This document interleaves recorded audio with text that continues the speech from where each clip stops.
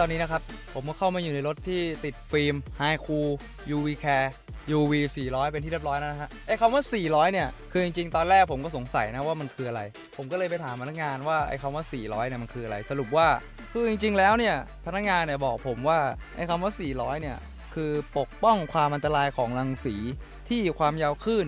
100 ถึง 400 นาโนเมตร ได้ 100%ก็คือหมายความว่าถ้าความยาวคลื่นที่มากกว่านี้เนี่ย จะ 500 600 700 ก็คือป้องกันรังสีได้ แต่อาจจะไม่ร้อยเปอร์เซ็นต์แต่ตั้งแต่หนึ่งร้อยถึงสี่ร้อยเนี่ยร้อยเปอร์เซ็นต์แน่นอน ซึ่งต้องบอกเลยนะครับว่าช่วงนี้เนี่ยเหมาะกับการทดสอบฟิล์มมาก เนื่องจากเป็นช่วงหน้าร้อน คือต้องบอกนะครับว่าข้างนอกเนี่ยอุณหภูมิประมาณ 37 38 นะ แต่ว่าพอตั้งแต่ที่ผมเข้ามาในรถที่ติดฟิล์มแล้วเนี่ยติดฟิล์มตัวนี้แล้วเนี่ยคือแบบเห็นความแตกต่างได้ชัดเจนมากครับไม่ว่าจะแบบในเรื่องของแสงที่กระทบเข้าตา ในเรื่องของความรู้สึกถึงไอร้อนทุกสิ่งต่างๆเนี่ยคือแทบไม่รู้สึกเลยนะเอาจริงๆคือแบบเหมือนอยู่คนละที่คือเข้าใจแหละว่าแอร์เนี่ยก็เป็นส่วนหนึ่งของความเย็น แต่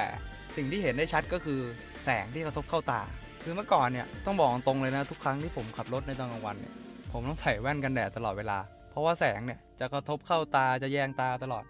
แต่ว่าตั้งแต่ติดฟิล์มตัวนี้ไปเนี่ย ผมแทบไม่จับแว่นกันแดดเลยนะ มันให้ความรู้สึกแบบต่อให้คุณจะขับในตอนกลางวัน ก็ยังสบายตาอยู่ แสงไม่รบกวนสายตาทำให้วิสัยทัศน์ในการมองของเราเนี่ยเห็นได้ชัดเป็นปกติ ซึ่งฟิล์ม Hi-Kool ตัวนี้เนี่ยเป็นฟิล์มเซรามิกเกรดพรีเมียมป้องกัน UV ได้ 400 ก็คืออย่างที่เราพูดไปตอนต้น และให้แสงสีฟ้า เพิ่มความเป็นส่วนตัว และการมองเห็นที่ clear ยิ่งขึ้น